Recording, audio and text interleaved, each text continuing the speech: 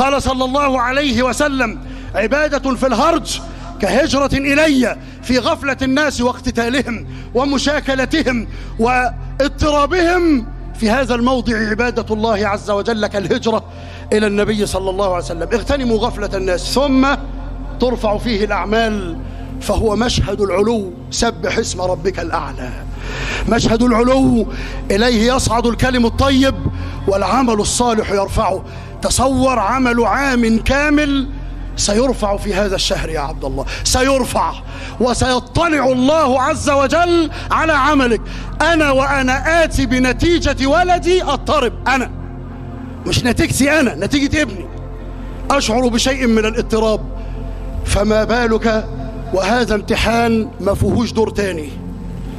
ذبح الموت بين الجنة والنار يا أهل الجنة خلود فلا موت يا أهل النار.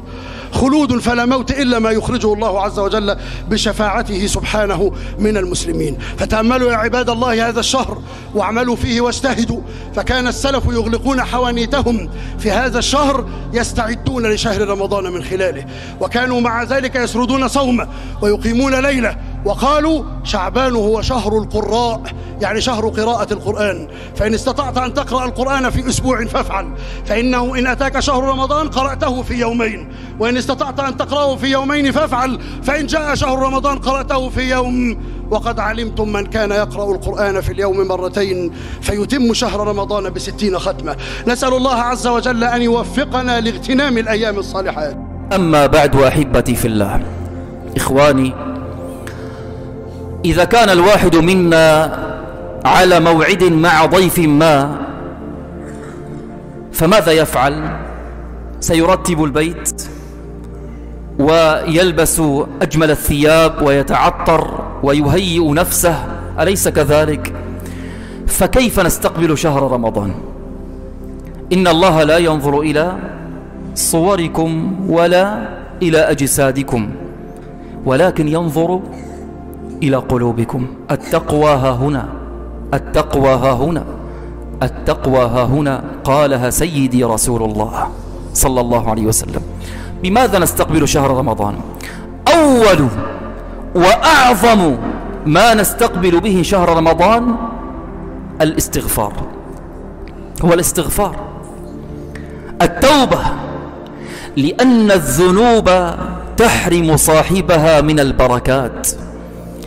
الذنوب تحرم صاحبها من الأعمال الصالحة تحرم صاحبها من الرزق من إجابة الدعوات.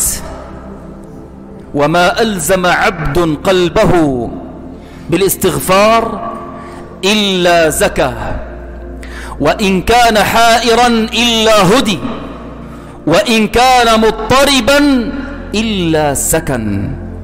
التوبة يا عباد الله.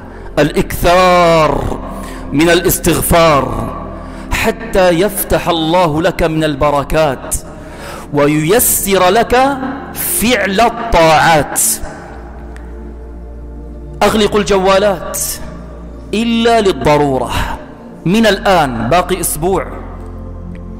الذي لم يستعد من بداية شعبان عنده الآن سبعة أيام تقريبا. من الآن نغلق الجوالات إلا للضرورة. تطبيق التيك توك احذفوه. وهذا من صدق التوبة. لأن الشيطان له خطوات يا أخوان. والله مقطع بجر مقطع. تعرفوا الكلام هذا كلياتكم مقطع بجر مقطع. هاي خطوات. حبل. بمسكك الحبل الشيطان وبلش يسحب فيك. حتى يوقعك في الحفرة. خطوات. ولا تتبع خطوات الشيطان. النظر يميت القلب إياكم احذروا. النظر النظر يميت القلب يدمر القلب يسود القلب. النبي صلى الله عليه وسلم أخبرنا أن العبد إذا أن العبد إذا أذنب ذنبا نكت في قلبه نكتة سوداء الذنب الثاني نقطة نقطة نقطة حتى يصبح أسودا. أسود. فإذا تاب وأناب يعني رجع لله عز وجل صقل قلبه. فعاد كالمرآة. فتوبوا عباد الله. وبيضوا قلوبكم من الآن. هذا الشهر والله العظيم فرصة. فرصة يا عباد الله. سماع الأغاني تميت القلب. حرام. تميت القلب إي وربي. كيف سينبض قلبك بالقرآن؟ كيف سيعيش مع القرآن؟ وأنت قادم على جهل القرآن. وأنت تسمع إلى الأغاني والمعازف. هذه رقية الشيطان. هذا الأمر الأول باختصار. الأمر الثاني نظف قلبك. نظف قلبك. محط نظر الرحمن سبحانه وتعالى. نحن قادمون على شهر فيه عتق من النار.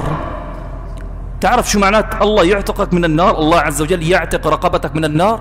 يعني لن تدخلها. شهر عظيم. وهذا الكلام من متى يبدأ؟ من أول ليلة من ليالي رمضان تبدأ الأسماء بالصعود إلى الله.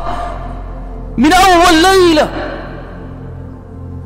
فكيف يريد العاق لوالديه أن يعتق الله رقبته من النار؟ وهو ملعون على لسان رسول الله. كيف الذي يعق والديه؟ كيف يريد قاطع الرحم أن يعتق الله رقبته من النار؟ كيف؟ وهو ملعون. ملعون ملعون. الله لعن قاطع الرحم وتوعد أن يقطعه.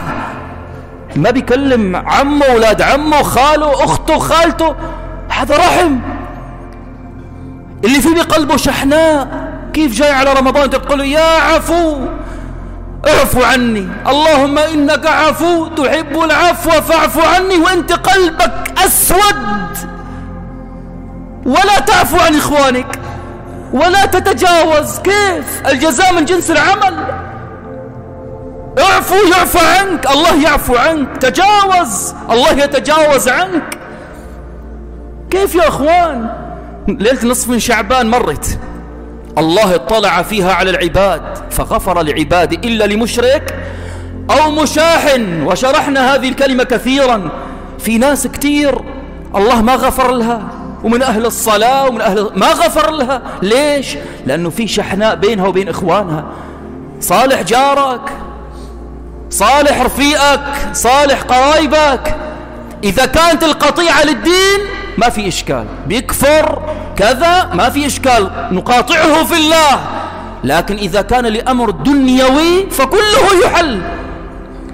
وإذا كان الأمر من سفاسف الأمور فاحذر. والله ما اجى لعندي والله ما زوجني بنته لابني ابنه ضرب ابني. هذه أمور كلها مرفوضة أمام الله عند الله عز وجل. مرفوضة. فخلص قلبك. نظف قلبك حتى يرضى عنك الله عز وجل.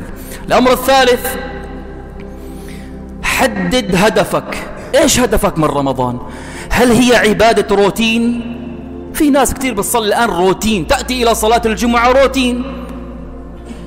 روتين. أنا بعرف ناس الآن في الخطبة بيطلعوا بيحكوا على الخطيب. بتكون الخطبة على الغيبة وحنمي وبيطلع بيحكي على الخطيب. فهذا روتين يعني. هذا جاي بس روتين قضاء روتين. فحدد هدفك.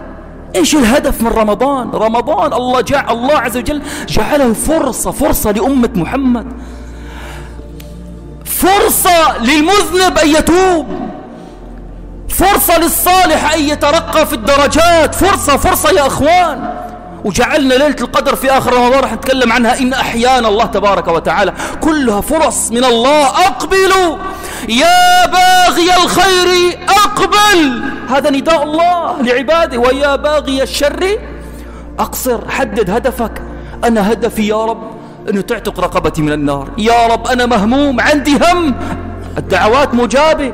أكثر من الدعوات. الله لما يراك صائم بالنهار قائم بالليل عاكف على تلاوة القرآن تسارع تسارع في أعمال الخير. أبشر والله أبشر بالخير. وأبشر بالسعادة فإنك تعبد ربا كريما رحيما سبحانه وتعالى. الأمر الرابع والأخير لن أطيل عليكم. لا تنسوا من حولكم الفقراء المحتاجين لا تنسوهم. ولا تبخلوا على أنفسكم. لا تبخلوا هذا مال الله تبارك وتعالى. من الآن تصدق اجعل سلة للسحور للإفطار لكذا أعينهم ببعض المال حتى يتقووا على شهر رمضان. كان كثير من السلف الصالح يخرجون زكاتهم متى؟ في شعبان زكاة أموالهم حتى يتقوى بها الضعيف حتى يتقوى بها الضعيف والمسكين. أسأل الله تعالى أن يبلغنا رمضان. وأن يجعله شهر عز ونصر وتمكين وفرج للأمة الإسلامية وأن يجعلنا فيه من المعتقين من النار.